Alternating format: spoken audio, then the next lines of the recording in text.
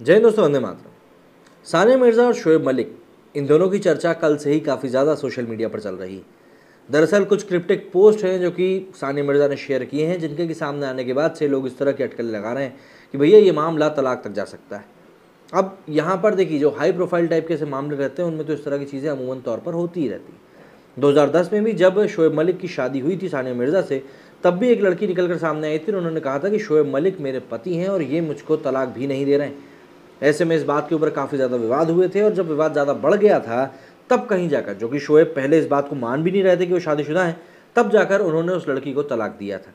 इससे पहले एक और बात ये निकल कर सामने आई थी कि शादी के पहले शोएब मलिक काफ़ी लंबे समय तक भारत में, हैदराबाद में सानिया मिर्ज़ा के घर रहे थे, जिसको लेकर काफ़ी ज़्यादा मौलवियों ने उंगली उठाई थी कि भाई इस तरह से अपनी होने वाली बीवी के घर पर रहना भी काफ़ी गलत है। मतलब काफ़ी ज़्यादा वाद विवाद उस समय हुए थे। आज जबकि इनकी शादी को बारह साल हो चुके हैं तो ऐसे में अब तलाक की खबरें सामने आना ये काफ़ी ज़्यादा शॉकिंग न्यूज़ सी है। क्योंकि जिस तरीके से ये डेवलपमेंट हुआ है, कहा जा रहा है कि शोएब मलिक ने धोखा दिया है और ऐसा किया है, वैसा किया है, इन सभी चीज़ों के कारण ये पूरा मामला इस समय काफ़ी ज़्यादा स्पाइस्ड अप हो चुका है।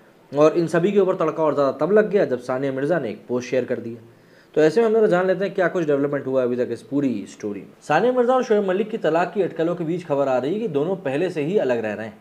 दोनों के बीच सब कुछ ठीक नहीं चल रहा है। निकाह के अब बारह साल बाद दोनों के रास्ते जुदा होने वाले हैं। दोनों हाल फ़िलहाल अपने बेटे जजान को पालन पोषण के लिए किसी तरह से मिलते रहते हैं। कहा जा रहा है कि एक टीवी शो का हिस्सा बनने के दौरान शोएब मलिक ने सानिया मिर्ज़ा के साथ चीटिंग करी। क्या चीटिंग करी है? इसके बारे में भी जल्द ही पता चल जाएगा।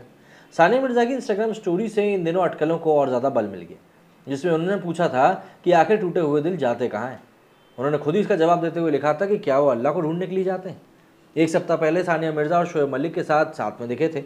जहाँ दोनों अपने बेटे का जन्मदिन मना रहे थे। पूर्व टेनिस खिलाड़ी ने कुछ दिन पहले भी अपने बेटे के साथ तस्वीरें साझा करते हुए लिखा था कि कुछ क्षण उन्हें कठिनतम दिनों की तरफ़ लेके जाते हैं।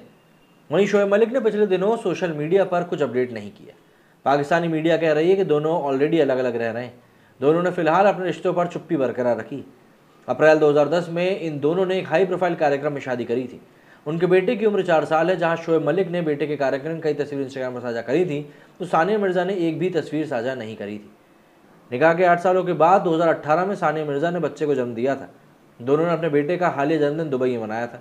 हाल ही में पाकिस्तान क्रिकेट के शो आज द पवेलियन में शोएब मलिक ने जब उनकी बीवी सानिया मिर्ज़ा के टेनिस अकेडमी को और उसके लोकेशन के बारे में पूछा गया तो शोएब मलिक ने कहा था कि उन्हें इसकी जानकारी नहीं और वो ऐसी एक भी अकेडमी के बारे में नहीं जानते। हैं कहीं ना कहीं ये सब छोटी छोटी बातें हैं जो कि पाइल अप हो रही हैं और एक एक करके उसी तरह सबका इशारा लेकर जा रही हैं कि भैया यहाँ पर सिर्फ़ वह इन सभी चीज़ों के बीच में एक बात और ये निकल कर सामने आ रही है कि सानिया मिर्ज़ा और शोएब मलिक के बीच में तलाक ऑलरेडी हो भी चुका है। दरअसल पाकिस्तानी क्रिकेटर शोएब मलिक के एक बहुत करीबी शख्स ने इनसाइड स्पोर्ट्स नाम की वेबसाइट को ये बात बताई। शोएब मलिक के करीबी के अनुसार सानिया मिर्ज़ा और उनके शौहर काफ़ी समय से अलग रह रहे थे। लेकिन अब औपचारिक रूप से दोनों ने तलाक ले लिया जिस शख्स ने यह खुलासा किया है, वो पाकिस्तान में शोएब मलिक की मैनेजमेंट टीम का सदस्य है। उसने इनसाइड स्पोर्ट्स को बताया कि हाँ अब इन दोनों का मतलब सानिया मिर्ज़ा और शोएब मलिक का ऑफिशियल रूप से तलाक हो चुका है। मैं इससे ज़्यादा तो खुलासा नहीं कर सकता, लेकिन पुष्टि ज़रूर कर सकता हूँ कि वे लोग अलग हो गए। वहीं उमैर संधू ने भी इसको लेकर पहले ट्वीट किया था कि officially confirm Sania Mirza and Shoaib Malik officially divorce now sad for the couple वहीं एक और ट्वीट में उन्होंने लिखा कि Sania Mirza is in severe depression after getting divorce from Shoaib Malik. वहीं जो इनका अल्लाह वाला पोस्ट था जो इन्होंने किया था, उस पोस्ट को बाद में डिलीट कर दिया गया था।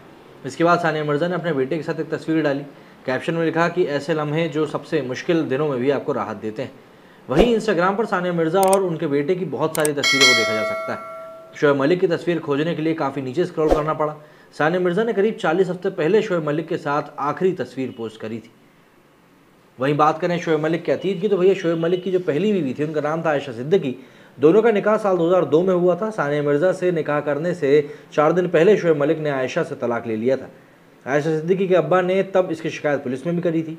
आपको बता दें कि शोएब मलिक से निकाह से पहले सानिया मिर्ज़ा की भी सगाई हो गई थी।